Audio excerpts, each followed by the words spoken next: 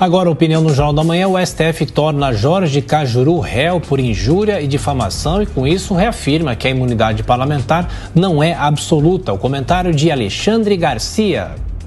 Olá, hoje é o Dia Internacional do Parlamento, mas olhem só o que aconteceu aqui em Brasília. Né? É, o Supremo, é, na segunda turma, por 3 a 2 decidiu que não está valendo aquela história de deputados e senadores são invioláveis por quaisquer palavras, etc, etc.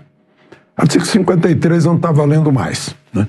Se refere agora ao senador Jorge Cajuru, representante de Goiás, que virou réu por injúria, difamação de um senador e de um ex-deputado.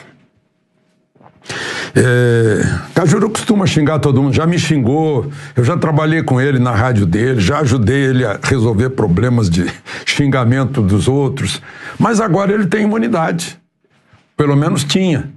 Está escrito no artigo 53 da Constituição, mas foi 3 a 2 lá. Votos de Gilmar Mendes, de Lewandowski e de Faquim. É, e os outros dois votos foram de André Mendonça e Nunes Marques. Vocês sabem que Celso de Mello, atendendo a pedido da Procuradoria-Geral da República, já tinha mandado arquivar. E com uma grande justificativa, o decano disse que, olha, sinto muito, ele pode dizer o que quiser, porque está escrito no artigo 53, que ele é inviolável por eh, eh, civil e penalmente por quaisquer palavras, né, uh, votos e opiniões. Civil e penalmente.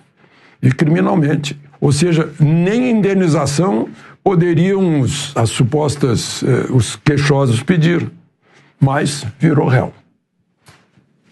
É que Daniel Silveira virou réu lá pelo Supremo e todo mundo baixou a cabeça no Congresso, e onde passa um boi, passa a boiada. Ou seja, senhores deputados e senadores, vocês não têm mais imunidade, pelo que decide o Supremo. Artigo 53 foi zerado? No mesmo dia em que o presidente do Senado foi ao presidente do Supremo, Luiz Fux, e fizeram uma nota falando em respeito às normas constitucionais. Né? Uh, e no mesmo dia em que saiu a convocação do McDonald's e do Burger King para explicar um sanduíche. Um que só tem cheiro de picanha, o outro que só tem cheiro de costela. Um assunto que a, a, a, o PROCON já tinha resolvido. Ou seja, convocam para uma, uma audiência para discutir sanduíche, e enquanto isso não passa o convite a ministros eh, do Supremo para explicarem decisões que não têm nenhum cheiro de Constituição.